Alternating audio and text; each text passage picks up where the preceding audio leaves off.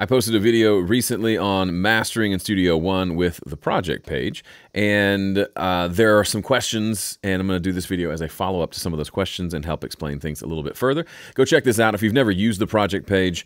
It's a really handy feature in Studio One. One of my favorite things from back when I switched to Studio One, back when it was on version two, I believe, the project page was a big reason why I switched. There were a lot of reasons, but that was one of them. That was long before I ever did any work with PreSonus. Look at Gregory, he's so cute. Um, so the comments here, uh, there was one, by the way, this one made me laugh. How come you do a, pay, a video on the project page every year? Because it changes, because we're a software company and we update things. Uh, and also because there's someone who's just discovering Studio One today and they need to know about the project page. It's incredible. Um, and there's a chance they may not see that video I made four years ago on how the project page works. And it's good to it's good to relearn things. So there's your answer there. But there was the one main question. Actually, there was a comment I want to address, and then there was a question or two questions I want to answer. Let me find the comment because this is really this is really fun and educational. Because mastering in just in in and of itself can be pretty complicated.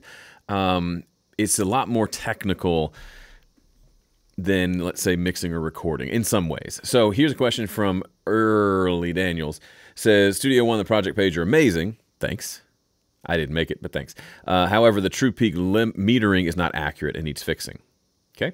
When I use a high-end true peak limiter and metering plugin and set the true peak to minus 0.1 decibels on my limiter, Studio One indicates clipping on its true peak metering. This is incorrect and can be misleading. Here's Fun fact a limiter has a ceiling, but some of the sound still gets through. And a lot of times it's due to, and I don't have a super great understanding of this, but it's called intersample peaking. So your the the signal's coming through one sample at a time, right? So at 44.1, it's a sample every one four, 44 thousandth of a second comes through. But the system, as far as I understand it, is interpolating what's happening between those samples. And sometimes that intersample area, what it's interpreting is happening, especially if it's a loud signal, can come through and actually come through the limiter as a clipping or as something that goes higher than the ceiling, which is why when you set your ceiling this high, which is Zero is clipping, so minus 0.1 is just barely below clipping. You're not giving yourself any any headroom here, which is why mastering engineers such as uh, my buddy Ian Shepherd and myself recommend setting your ceiling to minus one, which gives you a full dB of kind of headroom above the limiter because of that intersample peaking. Depending on how hard you're pushing the limiter, depending on the limiter itself, you may get, when I set mine to minus one and I cook the master pretty hard and it's pretty loud, um, a lot of times there are some peaks that get through that come out on the other side over minus one. So I might have my true peak measurement might be minus 0.6, but I set my ceiling at minus one. That's because of that intersample peaking. So the real thing is just set your ceiling to minus one and you won't have this problem anymore and you're good to go. Common misconception that the ceiling, I thought this for a long time, that the ceiling is like a Gandalf, you shall not pass. And it mostly is. Sonically, that's what's happening, but technically, those sneaky little samples will get through and even pass the limiter, even though you were very, even though you specifically asked them not to. Who gets that reference? All right, so that was one thing I want to talk about. The main question was from, and by the way, y'all are generally speaking, pretty nice in the comments, and I appreciate it. Um, this we'll get to, I think, in a minute. Here it is. Uh, Tavares Project said, Great video. Can you spend some time on a video on this page in relation to the levels and balancing between song to song? Which meter do you use and how do you go about making the adjustments? Please and thank you. How, how polite you are. Yes, let's talk about that in this video. So here is the project that I set up in that last video. And it's just a little two-song project, but as we can see, there are two pretty big, just visually, we can see there's a big volume difference between these two. We're going to want to figure out a way to match them up. And one of the ways, of course, and I'm just going to have the volume down so I can talk over this. If we just go in and if we do like a loudness measurement on each of these, then we can see that like this one's at minus 20 LUFS, got about 4 dB of headroom. This one I believe is already mastered, so it's a not a great example, but let's say we're trying to do a new compilation thing. You can see here, look, true peaking over one. I bet you I set that ceiling incorrectly. Um, when I mastered this, this was like seven years ago. I just grabbed it out of a folder. But anyway, not great there. That's an example of what I was talking about. There's no way I set my limiter to over zero, but it still went through. This is not a Studio One issue. This is a me issue. Bad me. Okay. So when we when we hit play on these, we can see on the meters, and for mastering, I like to use K14. We can see that this one's coming in pretty quiet. This one's coming in pretty loud. And the question is, how do we? First of all, kind of the bigger question is, how do we adjust the levels? Just let's start there. And then the question of how do we kind of match the level so that it feels like a good volume from one to the next. Let's start with there are th three main ways that you can adjust the levels of things inside of the project page. The first, we'll kind of start in order of like the signal flow. The first is on the actual audio file itself. So this one, I could literally just grab that thing right there and just adjust it up and down. Problem with that right there is I'm probably clipping. So it's probably not helping things too much. But you could, for example, use normalization, option N, which is, uh, I believe, Alt N on the PC. And that will normalize this audio to where it's exactly at zero. So it's as loud as it can go without clipping. Or you can also just uh, use this to just bump it up a little bit. Same thing here. I can bump it up or down using this. Also, clip gain envelopes.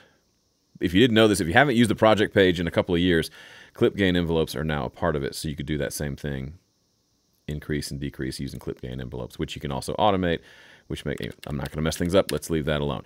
Uh, but that exists as well. I like to use, if I'm in this situation, I only use the clip gain envelopes for something that's a little more automatable.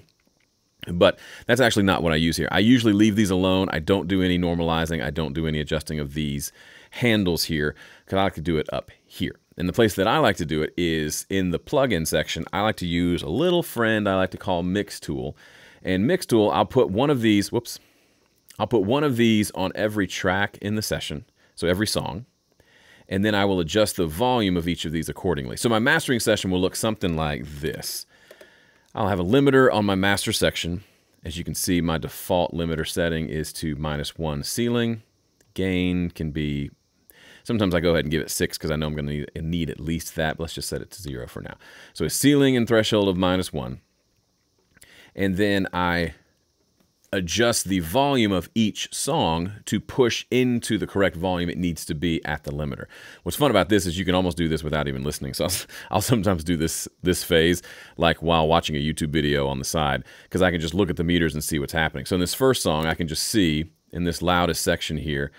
Um, actually, let's set this back to what was it? I think it's normalized. Let's unnormalize it. There we go. Now it's nice and quiet. I can just look and see, all right, this one's coming in a little bit quiet. This is the louder section of the song. I want this to be up in the red a little bit. So I'll just adjust the level here.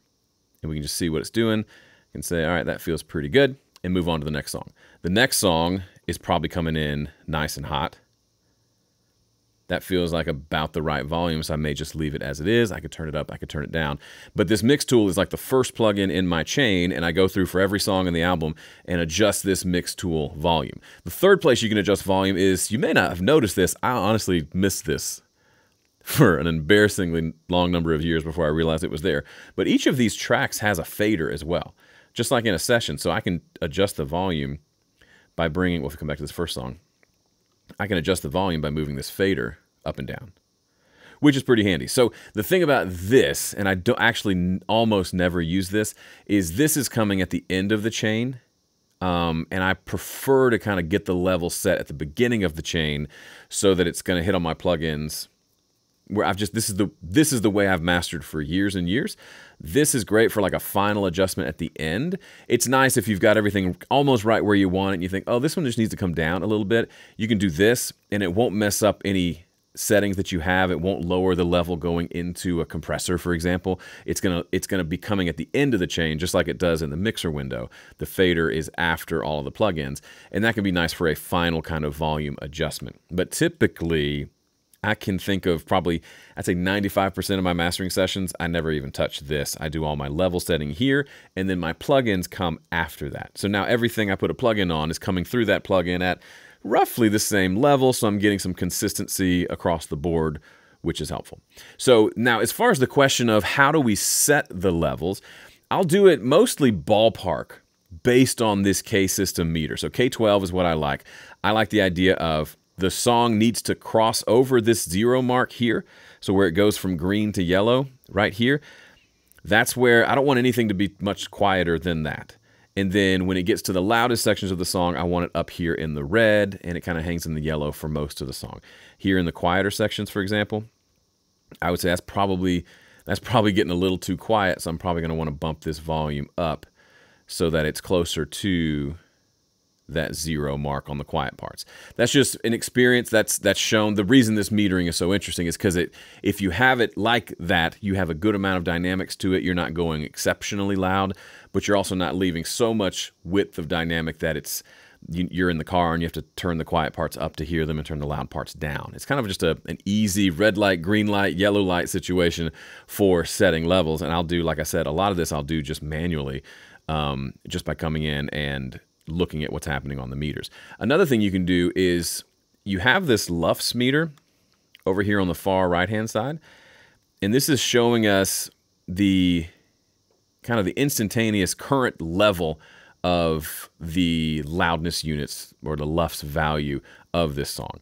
And so a friend of mine, good rule of thumb is like, let's make the loudest parts of the song hit um, around minus 10 perhaps and then that should probably mean the overall loudness is going to be in the minus 12 to minus 14 range, something that's nice and has a nice amount of dynamic to it.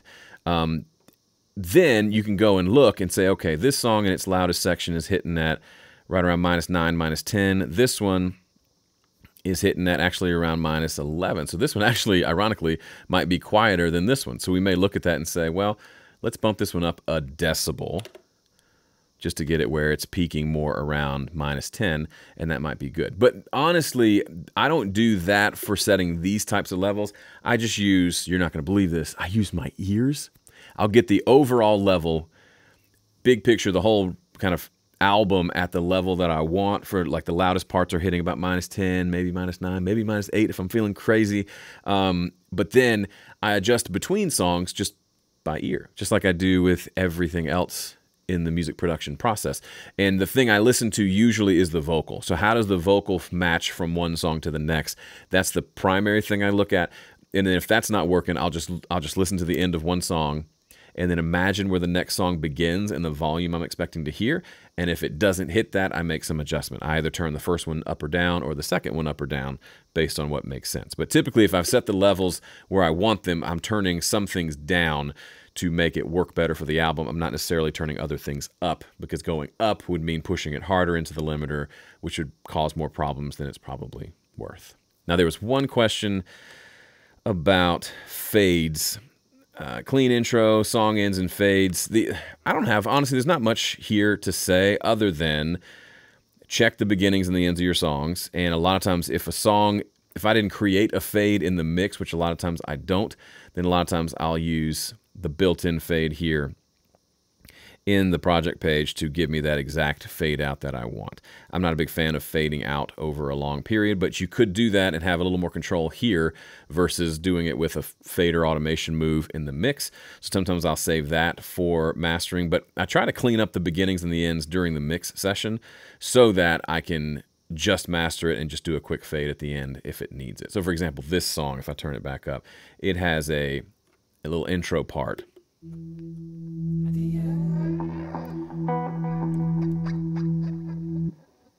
At the end of the world. So that intro part, I kind of liked it. I thought it was cool because it kind of like, it's almost like an orchestra warming up and then it begins. But I actually sent this off to a mastering engineer friend and he actually cut out the beginning entirely. Um, and you can do that by either bringing this up or if you hold down, I always forget the modifier. There's some modifier to match, or I guess just slide it back.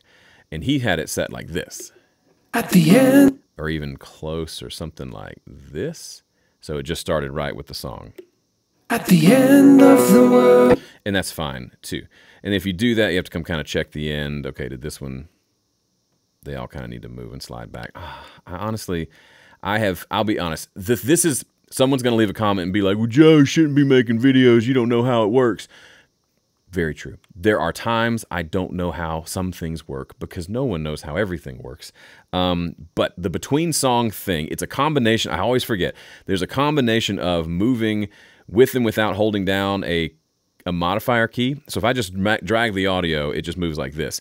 If I want to give it more space before it begins, like a little bit more of a gap, I think I press Command on the Mac, Control on the PC, and that moves this without moving the audio. And then if I hold down Option, that kind of moves that gap relative to one another.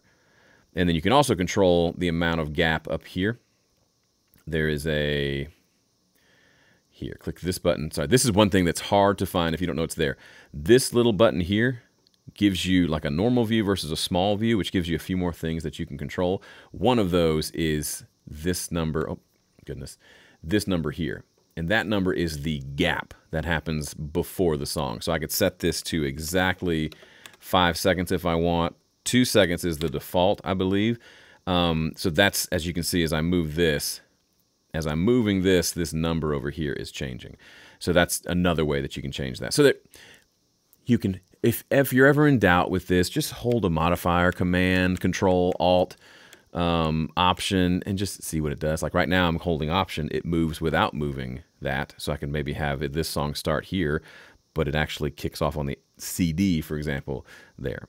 All right, that's enough of me. I, I regret this last section because here come the comments saying, Joe has no business making videos because he does not know how everything works. And I will just say, agree to disagree. That's fair.